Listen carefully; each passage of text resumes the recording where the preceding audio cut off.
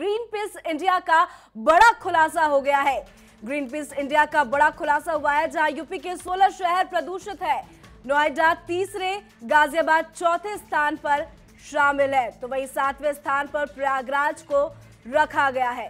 तो इस वक्त की बड़ी खबर आपको बता दें, नोएडा तीसरे नंबर पर, गाजियाबाद चौथे नंबर पर, प्रयागराज सातवें नंबर पर है। ग्रीन पीस का खुलासा हुआ है। ग्रीन पीस इंडिया का बड़ा खुलासा करते हुए गाजियाबाद, नोएडा और प्रयागराज का नाम सामने आया है, जहाँ यूपी के 16 शहर को प्रदूषित बताया गया है। तो लगातार प्रदूषण को देखते हुए ग्रीन पीस का खुलासा हुआ है। बड़ा खुलासा में यूपी के 16 शहर का नाम सामने आया है, जिसमें नोएडा, गाजियाबाद के साथ साथ सातवें नंबर पर प्रयागराज को रखा गया है। तो बड़ी खबर आपको बता दें और इस खबर पर ज़्यादा जानकारी के साथ अरुण चतुर्वेदी, हमारे संवाददाता हमारे फ़ोन लाइन पे जुड़े हुए हैं। अरुण, आपसे जानना चाहेंगे, प्रदूषित शहर में ज़्यादा से ज़्यादा नाम गाजियाबाद का ही दिख रहा है, या यूँ कहे सोलह शहरों का नाम शामिल है। क्या वजह बताई जा रही है? जी मैं आपको बता दूँ कि जिस हिसाब से ग्रीन पीस इंडिया के ताज़ा रिपोर्ट में खुलासा हुआ है कि सबसे ज़्यादा अगर देखा जाए तो पूरे देश में अस्सी फ़ीसदी जो शहर शामिल है लेकिन अगर प्रदेश की बात की जाए तो 16 शहर ऐसे शामिल हैं जिसमें से सबसे ज़्यादा प्रदूषित से पाँच गुना से ज़्यादा जहाँ प्रदूषण फैल चुका हुआ है। आपको बता दें लखनऊ चौदह स्थान पर शामिल है।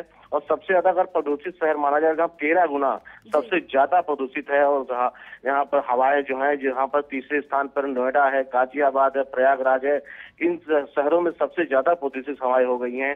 और ग्रीन पीस इंडिया ने भी खुलासा किया है कि जल्द से जल्द अगर इन शहरों की हवाओं की गुणवत्ता पर सरकार और प्रशासन कोई ठोस कदम नहीं उठाएगा तो आगे स्थिति और भी खराब हो सकती है। जी तो प्रदूषण की वजह कोई सामने आई क्या? कि किस वजह से इतना ज़्यादा प्रदूषण फैल रहा है? और खास करके यूपी में?